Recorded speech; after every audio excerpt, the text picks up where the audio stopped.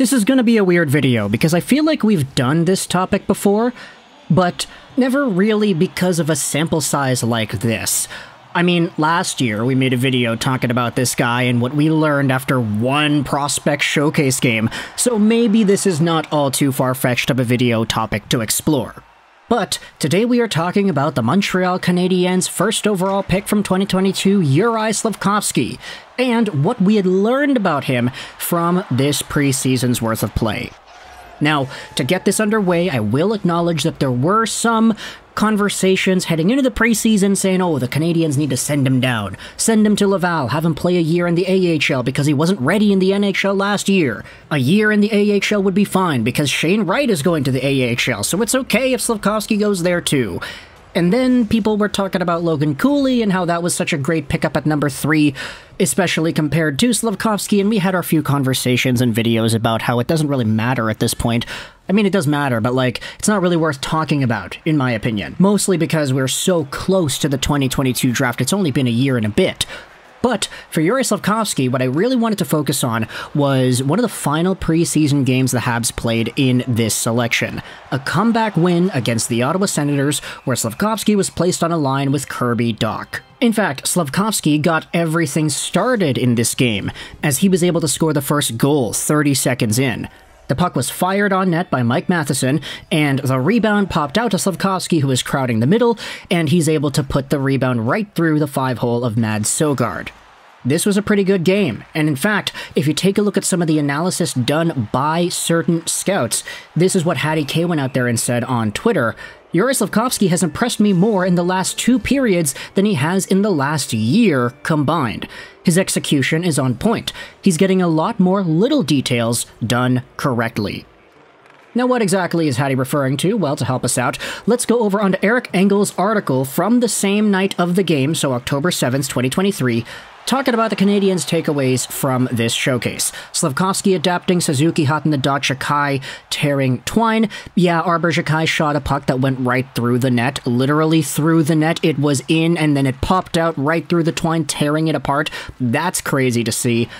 But for Uri, I wanted to go out there and read what it is Engels writes about him, as well as some of the quotes included from Martin St. Louis about this entire thing. Link is going to be in the description if you want to read the entire article. It's from a few days ago. It analyzes the game, it goes over Suzuki and a few other things. But the article does open up by talking about how Slafkovsky scored the opening goal.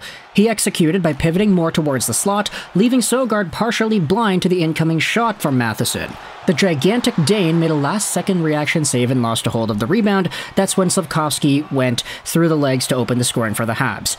It was Slafkovsky's first shift of the game, started out with him smiling at Kubalik, who was lined up across from him on the opening faceoff, and it ended with him grinning even wider as he celebrated his second goal of the preseason. The article then dives into how Slafkovsky played this game. He was a consistent presence on the forecheck and backcheck. He used his body effectively, and for more than just setting screens, both taking checks and dishing them out. He made strong plays in his own end and creative ones in the offensive end, and he put himself in the right spots at the right time to have the puck on his stick frequently. Now, this is great because when it comes to Slafkovsky, one of the biggest things that plagued his game last year was his ability to get hit, because quite frankly, it was just not good. Slafkovsky was getting knocked over by small guys like Marco Rossi. They were getting the better of him because his head was always down and he wasn't paying attention. Nowadays, seeing how he's performing in the preseason, I'm not going to say that he's some terrorizer Brady Tkachuk like player, but he's a lot closer to Brady Tkachuk today than he was throughout any point last season. Martin St. Louis went out there and said this about Slafkovsky. He played a good game tonight, and he's starting to learn the game a bit more. We talk about being connected and balanced on the ice, and he appears encouraged because he knows that the game is easier when it's played with the four guys on the ice. Big guys like Slafkovsky use their size and abilities individually until they reach the NHL, and then realize it becomes impossible to do it all by themselves at this level. You have to understand to play with the other four players on your side and the five on the other team. Slafkovsky is advancing in that process and he exhibited that throughout this training camp. Now he must take the confidence earned from it and carry it into the regular season.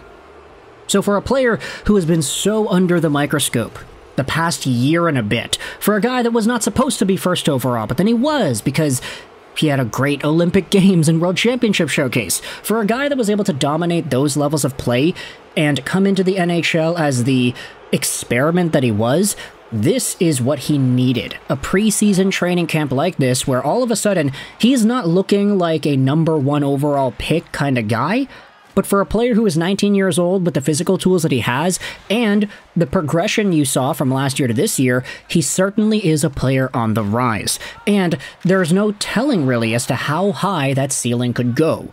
It's only been one year development, but as the common NHL tale says, Players who are rookies normally exhibit that sophomore slump. So the question really is where exactly does Slafkovsky go points wise, and what are your expectations? Slafkovsky last year had 10 points in 39 games played on pace for about 20 something points, and if you go over to the Canadian subreddit, there was a post made a few days ago by Mag Lift Pinch asking, point wise, what would you consider as successful for Slafkovsky this season?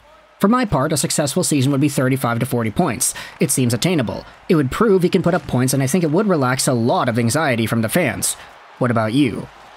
You then have a bunch of comments. Some say they don't really care about the points. Others care more about the development and the confidence. Some people are saying 30 points, 35, maybe 40 plus would be great. But at the end of the day, for Slafkovsky, I feel like this isn't really the type of player that you're going to see immediate game-changing point production out of right away. He's got a lot of finer details that need to be worked on and perfected at the NHL game before he worries about points. Now, of course, you could say, oh, but if he scores like 70 points in a season, who cares how good he is as a player? Yeah, that's true. If he does go out there and do that, I definitely wouldn't complain. But the way we have seen him progressing definitely isn't bad.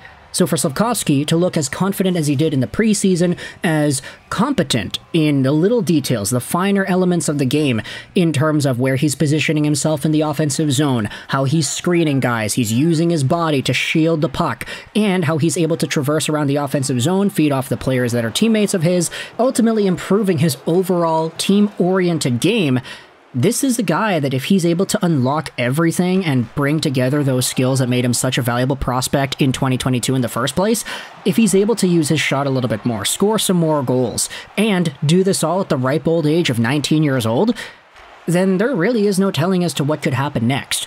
You know? So I feel like for Slafkovsky, even though he's never going to be like Jack Hughes, Connor McDavid point production, I don't think he's ever going to get 100 points in a year if he is at least able to be a serviceable player that does things that nobody else is capable of doing, if he uses his size, he uses his skill, if he maxes out at, let's say, 80, 85 points in an NHL season in his prime, I feel like that's an alright player, especially at first overall.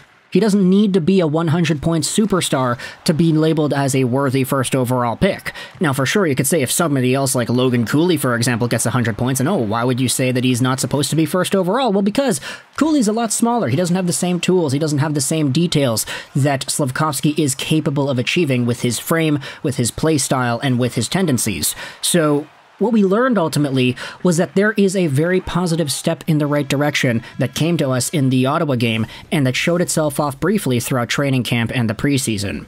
So let me know your thoughts in the comment section below. I get that a lot of non-Canadiens fans can watch this video and say, oh, look at that. Lego's just really inhaling the copium at this point, trying to rationalize the Uri Slafkovsky pick.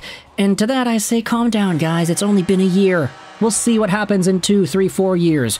Hopefully I'm still making videos by then and we can actually catch up with how everything went and gone from that 2022 draft. It's going to be so interesting to make the 2022 redraft video in a few years because that is going to have some very good controversy attached to it. But either way, thoughts in the comment section below about Yuri Slafkovsky. Article is going to be linked in the description as well as the Reddit post. I hope you enjoyed this video. 9 and bye.